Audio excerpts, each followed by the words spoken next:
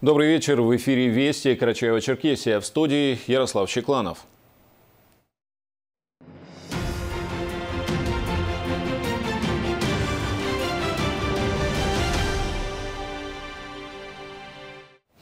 Сегодня в России финальный день голосования по поправкам в Конституцию. По решению президента Владимира Путина он объявлен выходным. Свои голоса граждане страны отдавали на избирательных участках с 8.00 до 20.00 местного времени. И как э, сообщили в избиркоме Карачаево-Черкесии по состоянию на 18 часов проголосовали 245 511 избирателей республики, что составляет более 83%. О том, как сегодня проходило голосование в одном из самых отдаленных уголков республики в поселке Медногорский Урубского района, расскажет Али Баташев. На входе в 197 избирательный участок каждому участнику голосования меряют температуру, выдают маску, перчатки и авторучку. Паспорт в руки не передается. Важно соблюдать социальную дистанцию на протяжении всего голосования. Исключений из правил нет. После необходимых процедур жительница поселка Медногорский Екатерина Таланова уверенно ставит галочку в выбранной графе и опускает бюллетень в прозрачную урну в присутствии наблюдателей и других лиц. Поправки определяют будущее страны. Это главная причина ее прихода на избирательный участок. У меня внучка растет. 10 лет внучки. Я хочу, чтобы она жила нормально. Хорошо, чтобы жила. Вот, она учится, отличится у меня, молодец, хорошая девочка. Ну, конечно, не слушается и получает по заслугам, но все равно я ее люблю. Я хочу, чтобы и дочка, и зять, чтобы все они и деньги получали хорошие. Дочка тоже больная, ну что сделаешь, никуда не денешься такая угу. жизнь. Вот. И хочу, чтобы было все хорошо и отлично.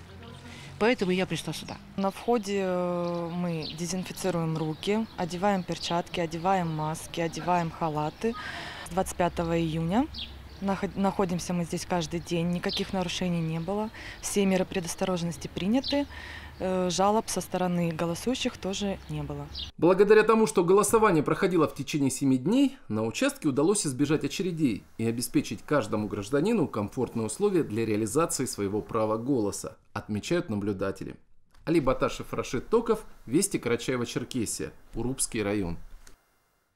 Сегодня в Карачаевском районе продолжилось выездное обслуживание избирателей, пожалуй, с самым высоким уровнем ответственности. На дому голосовали долгожители, трудом которых поднялась и заново отстроилась наша страна от послевоенной разрухи. Ахмат Халкечев продолжит. Выездное обслуживание ветеранов войны, труда, тружеников тыла и просто пожилых людей, как и во всех муниципалитетах республики в Карачаевском районе, было организовано со стартом всероссийского плебисцита по поправкам в Конституцию.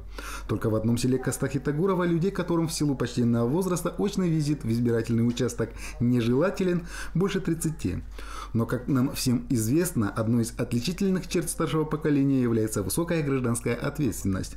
В организации данного процесса активное участие приняли и социальные работники, которые обращались в избирательные комиссии за своих подопечных. Комиссия, как положено, выезжала с соблюдением всех санитарных норм, которые были предписаны Роспотребнадзором, и обрабатывали и помещения, и разовые ручки, маски, перчатки. Все предусматривалось для того, чтобы проголосовали. Вообще сам бюллетень кладется в разовый пакет вместе с маской, ручкой, перчаткой. Ларисе Михайловне Кузаевой еще весной исполнилось 91 год. В будущее она смотрит с уверенным оптимизмом. Как минимум рассчитываю прожить еще до 100 лет, говорит женщина. А свой выбор сделала за благополучное будущее не только своей семьи, внуков, правнуков, но и в целом всей страны, говорит она. Я проголосовала за будущее своих внуков и правнуков. Хочу жить в достойной стране дальше. Желаю всем будущее, здоровья и счастья. Ларисе Михайловне избирательная комиссия домой приходит впервые. Все предыдущие избирательные кампании свой гражданский долг долгожительница, несмотря на свой почтенный возраст, выполняла на стационарных участках. Ну а в этом году родным удалось уговорить бабушку, чтобы она проголосовала дома. Отрадно отметить, что долгожительница и в свои 91 в добром здравии и в крепкой памяти, в чем убедила нас и членов избирательной комиссии великолепной декламации стихов своей боевой молодости. И если что, вместе в партизане бить Гитлера, пусть сдохнет сатана. Марусю не узнать дочку. Шинель одела и санитаркой в госпиталь пошла. А я не против, раз такое дело. Сама сестрой в гражданскую была. Вдвойне примечательным этот день стал для семьи еще одной долгожительницы Таухани Османовны Чханчиевой. Именно 1 июля она отмечает свой 110-й день рождения. Поздравить с юбилеем самую пожилую избирательницу района, помимо участников выездной избирательной комиссии, приехал и глава администрации Карачаевского района Спартак Кучетеров. Он также передал имениннице поздравительный адрес от президента Владимира Путина. Огромное вам спасибо за ваши поздравления. Дай Аллах дожить вам до моих лет, а лучше еще дольше. Всем желаю безмерного счастья, крепкого здоровья и успехов в ваших нелегких трудах. Они ждут, они ждали нас все, и как бы они очень активно, потому что смотрят телевизор, они э, читают газеты, они очень э, все грамотные. Идет голосование, они активно голосуют. Конечно, они э, желают удачи нашему президенту. Таухани Усмановна безо всякого привлечения из числа тех, кто своим героическим трудом приближал великую победу. Еще будучи совсем юной девочкой, она выполняла две взрослые нормы в период лихолетия войны и депортации. Таухани Усмановна ковала нашу победу тяжелым каторжным трудом, обеспечивая крепкий тыл нашей армии чтобы мощь и сила нашей Родины росла и приумножалась, чтобы дети, которых мы сегодня растим и воспитываем, могли поистине гордиться страной, где они родились и живут. Ахмад Халкичев, Расул Бердиев, Весть Карачаева-Черкесия, Карачаевский район. В день общероссийского голосования на избирательные участки спешили самые разные люди. На избирательном участке номер 96 станицы Зенчукская были не только люди в погонах, казаки и стражи порядка. Сегодня выразить свое отношение к поправкам к главному закону страны пришел православный священник. Благочинный православных церквей Южного округа Карачаева-Черкесии Евгений Субтельный. А, проголосовал на своем избирательном участке. По его мнению, каждый гражданин страны не может оставаться в стороне при внесении изменений в Конституцию Российской Федерации. Как и любой гражданин нашего Отечества, я считаю, что выполнение гражданского долга – это обязанность, которую необходимо выполнять каждому. Мы живем в стране, единым народом, единой нацией. И когда человек отдает свой голос, это единение ощущается особенно. Принадлежность к своей стране, к своему государству, к своей родине. И вести из оперативного штаба Карачаева-Черкесии. На сегодня в Карачаево-Черкесии выявлено 79 новых случаев заражения коронавирусной инфекцией. Общее количество заболевших COVID-19 в республике составило 3599. Из них выздоровели 1491 человек, 470 госпитализированы. МЧС информирует, сегодня и завтра в республике ожидается сильный дождь, возможны гроза, град, шквалистое усиление ветра до 23 метров в секунду. А сейчас прогноз погоды, а после мы продолжим выпуск.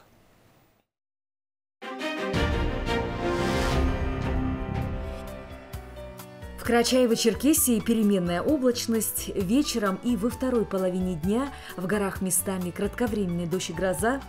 Ветер восточный 7-12 метров в секунду. Температура ночью плюс 12-17, а днем 29-34 выше нуля.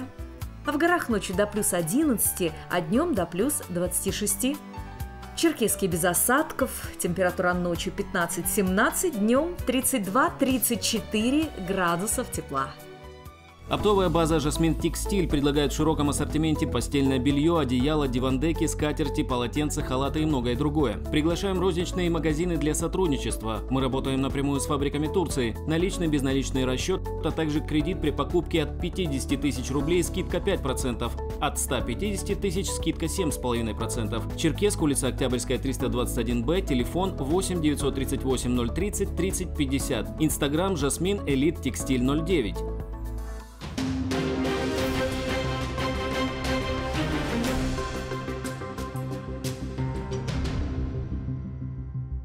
Продолжаем выпуск. Голосование проходило с 25 июня. Это было сделано для того, чтобы обезопасить здоровье людей в период пандемии коронавируса. Граждане Карачаево-Черкесии проявляли в эти дни довольно высокую активность. Поскольку процедура голосования растянута по времени, то никаких очередей на избирательных участках все эти дни не наблюдалось. Нормы социального дистанцирования и другие э, карантинные меры соблюдены. Выходные дни голосования по поправкам в Конституцию продолжалось столь же активно, как и в предыдущие дни. По данным избиркома республики, граждане предпочитают голосовать на своих привычных избирательных участках, хотя и мобильные пункты тоже востребованы. Сегодня я пришел на голосование, чтобы выполнить свой гражданский долг.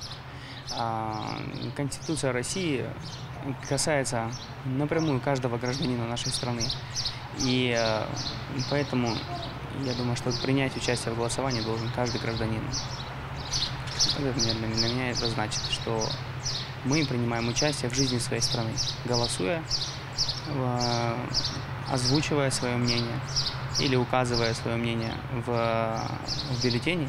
Таким образом мы принимаем участие в жизни своей страны. 25 июня по 1 июля на территории нашей страны проходит всероссийское голосование поправок в Конституцию Российской Федерации руководством нашей республики было создано условия для безопасного голосования, что дало возможность избирателям прийти и свободно проголосовать. Нам, избирателям, было дано несколько способов голосования. И, как говорится, право остается за избирателем. Для каждого гражданина Российской Федерации это наш долг прийти, оставить свой выбор. И я считаю, в такой вот э, нелегкий сегодняшний период государство нашей страны позаботилось о сохранности нашего здоровья. На участках избирательной комиссии все используют средства индивидуальной защищенности. И я считаю, все-таки мы, как жители Карачаево-Черкесской республики, должны прийти, должны проголосовать, ну и, конечно же, оставить свой выбор. Избирательные участки с 25 э, июня э, республики работают в штатном режиме с соблюдением строгих санитарных требований. Э, помещения дезинфицируются два раза в день. Уже на входе каждому избирателю измеряют температуру, обрабатывают руки антисептиком и выдают средства индивидуальной защиты. Также соблюдены нормы санитарного дистанцирования. Голосование проходит очень активно, люди идут, люди очень позитивно настроены, ни одного скандала, ни одной какой-то конфликтной ситуации у нас еще не было. У нас полностью все соблюдаются санитарные нормы, обработка рук, дезинфекция, даже ног у нас коврик при входе лежит, если вы обратили внимание. Измеряется каждому температура, выдается каждому перчатки, ручка – и масочка. Если человек приходит без маски или кто просит новую, мы, соответственно, тоже даем новую ручку. И маску все полностью соблюдаем. В 15 школе голосовал, все нормально. Как бы проблем никаких. Только наше желание и все. На мой взгляд, есть какие-то неурядицы, есть кое-какие. Ну, в общем, нормально. Люди должны приходить и делать свой выбор. Конечно. Обслуживание хорошее, перчатки одноразовые, маска, ручка даже. Вы сделали Все. свой выбор? Да, конечно.